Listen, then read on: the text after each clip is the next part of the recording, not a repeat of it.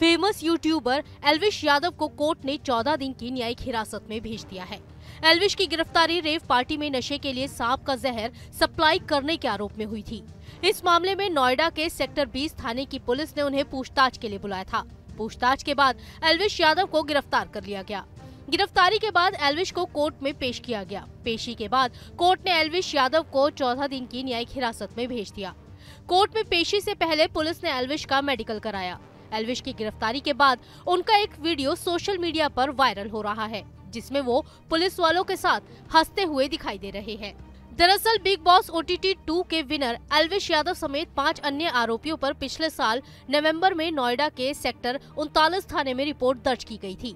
Police ने पाँचों आरोपियों को गिरफ़्तार कर लिया था। इन पाँचों की गिरफ्तारी बीजेपी नेता मेनका गांधी की एनिमल वेलफेयर संस्था पीएफ की पहल पर हुई थी। पुलिस ने उस वक्त एलविश को कई बार पूछताछ के लिए बुलाया था, लेकिन तब उनकी गिरफ्तारी नहीं हो पाई थी। वो जमानत पर बाहर चल रहे थे।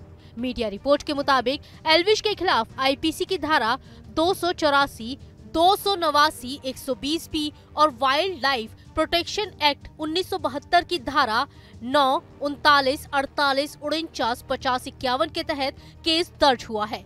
इस मामले में आरोपियों से बरामद स्नेक वेनम को जाँच के लिए भेजा गया था। वहाँ से मिली रिपोर्ट के बाद एनडीपीएस एक्ट की धारा बढ़ा दी गई है। इस रिपोर्ट के बाद पिछले पाँच महीने से जाँच कर रही पुलिस ने इस केस को मज़बूत कर लिया है। माना जा रहा है कि एलविश के खिलाफ जिन धाराओं में केस दर्ज किया गया है, उसमें उनको लंबी सजा हो सकती है, जो सीधे तौर पर उनके करियर को प्रभावित करेगी। एनडीपीएस एक्ट को narcotics drugs and psychotropic substances act उन्नीस कहते हैं। इसे 1988, 2001, 2014 और 2021 में चार बार संशोधित किया गया। इसका इस्तेमाल नशीले पदार्थों को बनाने खरीदने बेचने और सेवन करने वालों के खिलाफ किया जाता है। इसके तहत चरस गांजा अफीम heroin cocaine morphine LSD MMDA और एल्प्राजोलम आते हैं। इसमें कई ड्रग्स का इस्तेमाल दवाइयों के लिए किया जाता है। लेकिन इसका ज़्यादा इस्तेमाल प्रतिबंधित है।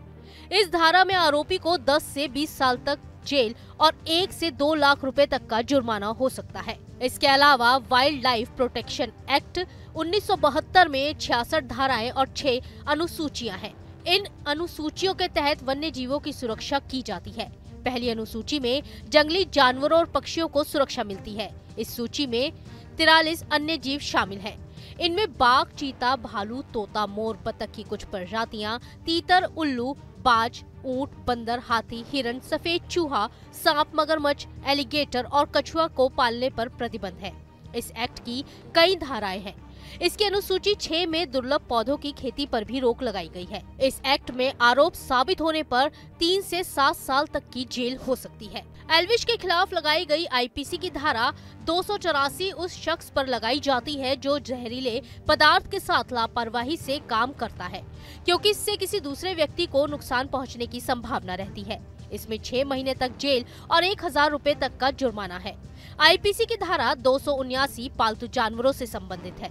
इसमें अगर किसी पालतू जानवर से कोई संकट पैदा होता है या किसी व्यक्ति को शारीरिक नुकसान पहुँचता है तो इसकी ज़िम्मेदारी जानवर पालने वाले की होगी। इसमें छह महीने तक जेल और एक हज़ार रूपए तक का जुर्माना है। आईपीसी की धारा 120 किसी भी अपराध को अंजाम देने के लिए मिलकर साजिश रचने के लिए लगाई जाती है।